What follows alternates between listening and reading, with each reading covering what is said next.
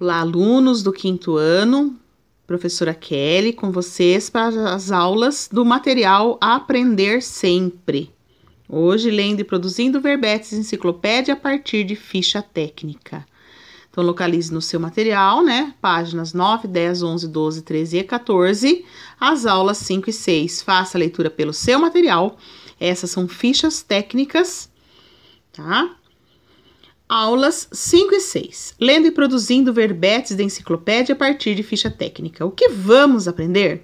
Nesta aula, vocês lerão colaborativamente algumas fichas técnicas e textos sobre animais. Em seguida, produzirão verbetes da enciclopédia a partir do texto lido. 1. Um, localizado no Parque Estadual das Fontes do Ipiranga, considerado o maior fragmento florestal de Mata Atlântica na cidade de São Paulo, o zoológico abriga espécies nativas de cerca de 2.200 animais, entre répteis, mamíferos, aves, anfíbios e invertebrados. Algumas espécies são raras e outras estão ameaçadas de extinção. Vamos conhecer algumas espécies de répteis que encontramos no Zoológico de São Paulo. A leitura de fichas técnicas pode ajudar a aprender procedimentos de pesquisa e de leitura, como a localização da informação. Então, se estivéssemos na sala, iríamos ler e depois produzir os verbetes. Mamíferos: cervo nobre. Ordem: Atiodactyla Família, Cervidae. Nome popular, cervo nobre. Nome em inglês, red deer. Nome científico, cervos elafos. Distribuição geográfica, Ásia, Europa e América do Norte. Hábitos alimentares, herbívora. Reprodução, gestação de 230 dias. Período de vida, aproximadamente 22 anos. Habitat, florestas, campos e montanhas. Todas essas fichas técnicas foram retiradas lá do site do zoológico, viu, pessoal? e traz algumas informações. Olha lá, outro animal: gato maracajá. Ordem carnívora, família Felidae. Nome popular: gato maracajá. Nome em inglês: margai. Nome científico: leopardus uidi.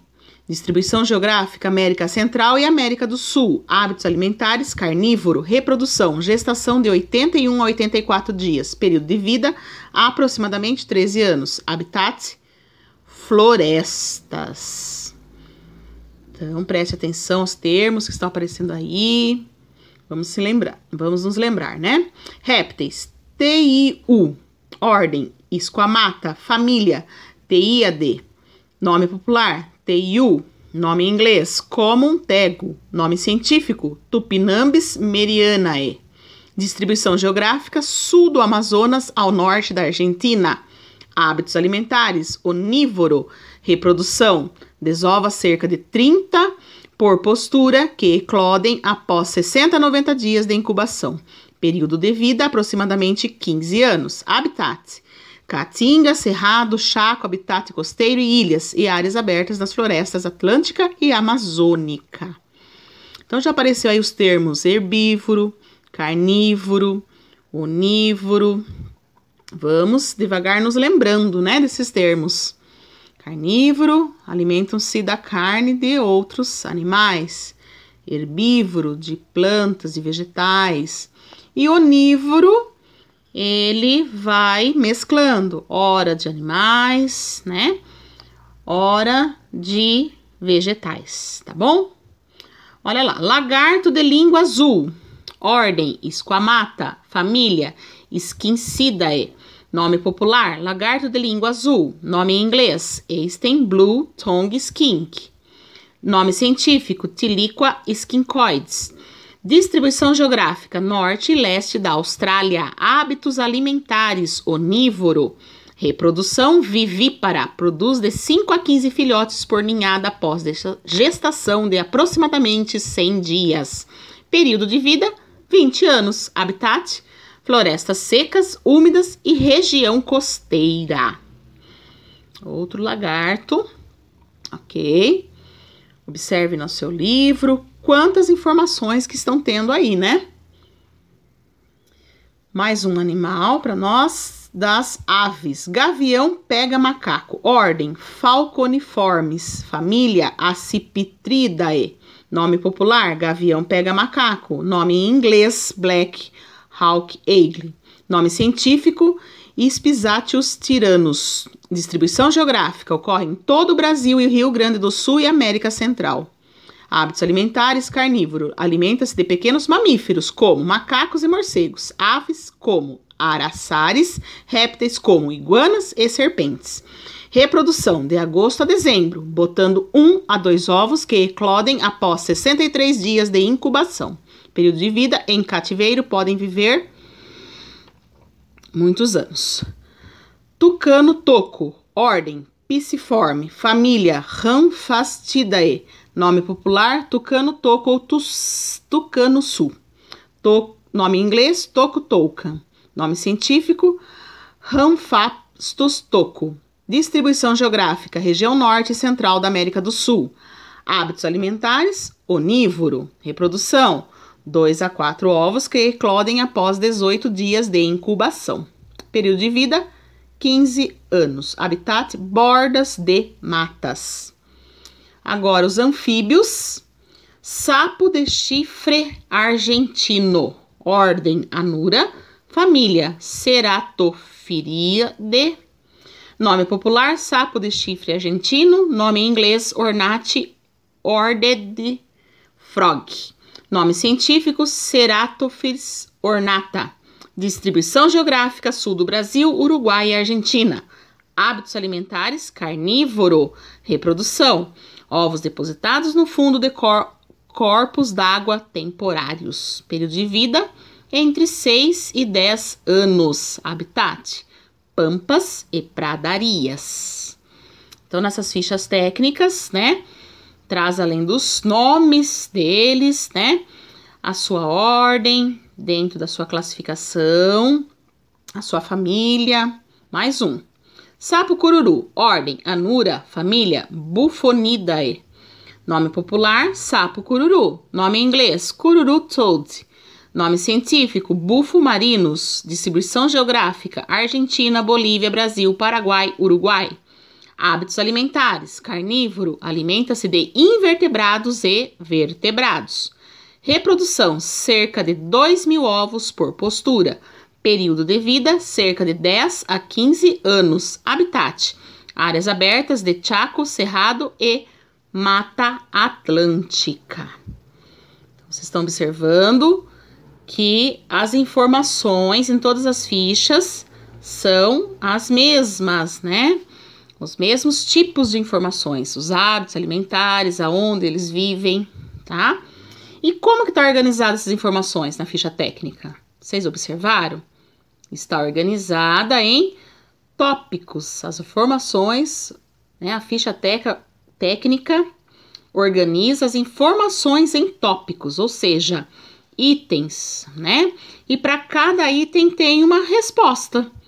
Pode ser uma palavra apenas ou um grupo de palavras, tá? Não formando necessariamente uma frase. Então, vai pensando aí. Na 2, os animais são impressionantes, não é mesmo? Muitas pessoas têm fascínio por esse tema, por isso a turma do quarto ano resolveu escrever uma pequena enciclopédia sobre animais e suas características. Acessando o site do zoológico, eles tiveram acesso às informações de diversos bichos, mas elas não estavam organizadas em forma de verbetes. Por isso, precisavam produzi-los a partir da ficha técnica dos bichos. Veja como uma das duplas produziu o verbete sobre a anta. Então, lá no site tinha as fichas técnicas, né?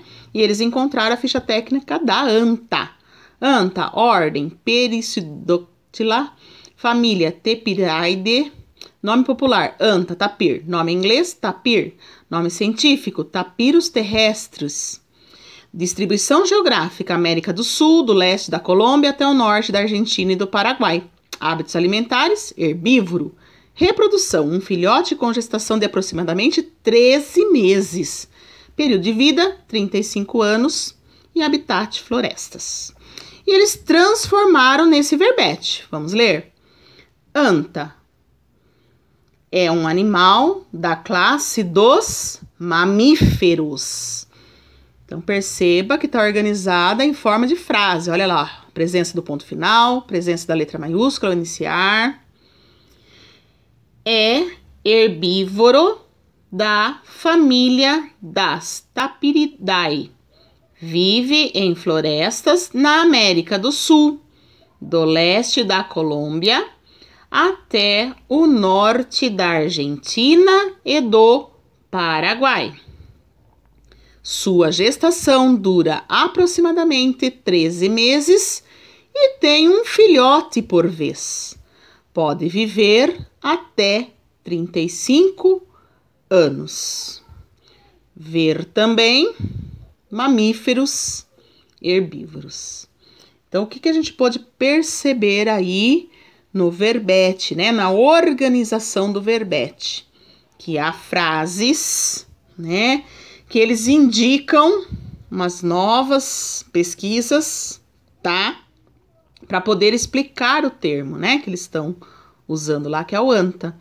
Então, as frases começam com letra maiúscula, terminam com ponto final, tá? Tem várias frases nesse parágrafo, tá? Cada vez que tem um ponto final é uma frase, mas o parágrafo não precisa necessariamente mudar de linha, tá? Ele continua de acordo com os assuntos. Então, se a gente for contar aí, tem um, dois, três, quatro parágrafos, tá? E você pode procurar novas palavras, mamíferos, herbívoros, tá? Que vai complementar. Então, o verbete de enciclopédia, como a gente acabou de ver aí. A gente já viu sobre dicionário, sobre da enciclopédia, tá? E a proposta é fazer o da enciclopédia, né? A turma lá. Então, ele organiza as informações em forma de texto, com frases curtas, ok? A gente acabou de perceber ali. E usando três cores diferentes de canetas ou lápis de cor sublime. O parágrafo que define o termo verbete. Então eu, vou, eu escolhi a cor azul. Se você quiser escolher outra cor, escolha três cores diferentes para organizar aí as informações que está pedindo. O parágrafo que traz curiosidades ou outras informações sobre o termo. Lembrando, parágrafo nem sempre é uma frase só, podem ser várias, tá? Eu escolhi o vermelho para as curiosidades. As palavras que também podem estar na pequena enciclopédia da turma. Eu escolhi o verde. Então escolha a cor que você quiser, se quiser utilizar as mesmas cores, tá? Tá certinho. Vamos lá para o verbete para ver?